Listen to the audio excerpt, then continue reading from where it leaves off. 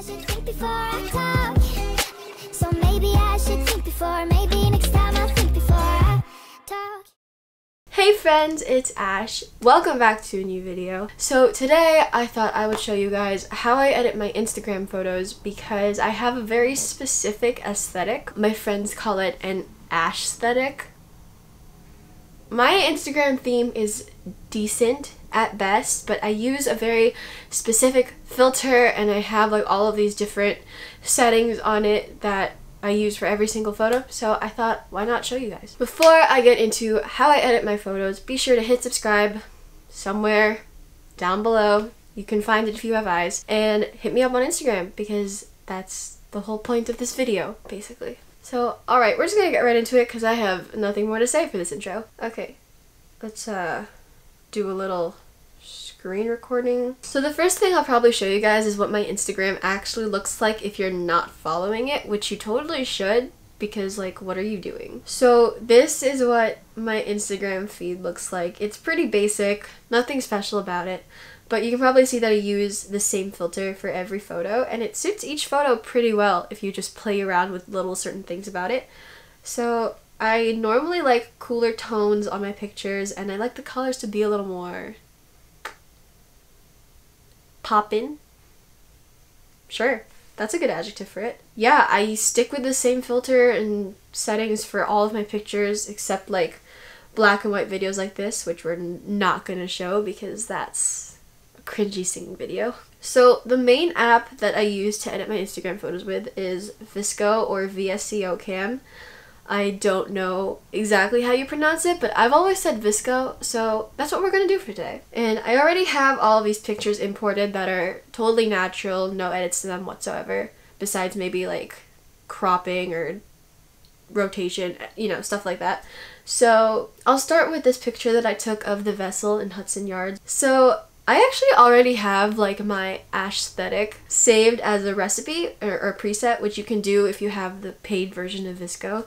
But for the sake of this video, I'm going to show you guys step by step. So there are a lot of filters that I really like using on Visco. Like um, T2 I really like if I want it to be faded. Um, F2 I did for a very long time and that was like 8th grade. HB1 and HB2 are also the really cool ones that I like.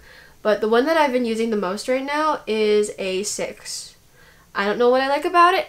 I just like it. But I don't put the filter all the way up just because I feel like it's a bit too strong so I bring it down to like an 8.5. Okay so for like exposure and contrast and all those other settings I like to do exposure last just because depending on the other settings exposure can look really good or really bad.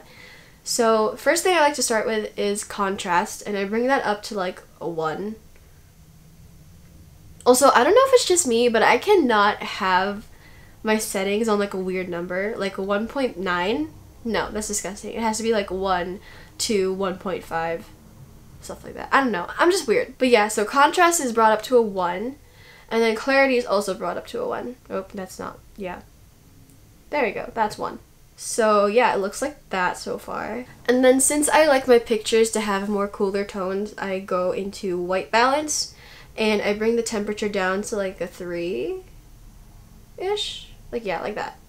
And then I also like my pictures to be a little more pink, so I bring the tint up to like a 2.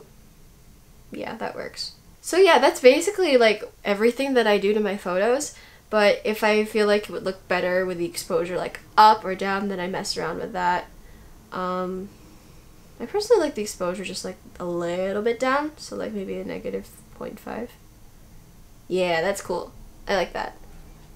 And then we just save that and woohoo! We have my aesthetic. Um, so like I said before, I already have this saved as like a preset for my other photos. So really I just go into my recipes and click that and just play around with like the exposure and stuff to see how I like it. I actually like it just at zero for this picture. And yeah. And then another thing I like to do is just copy edits and paste it on all of my other photos. And it, you see, it just copies all of the edits onto my other photos.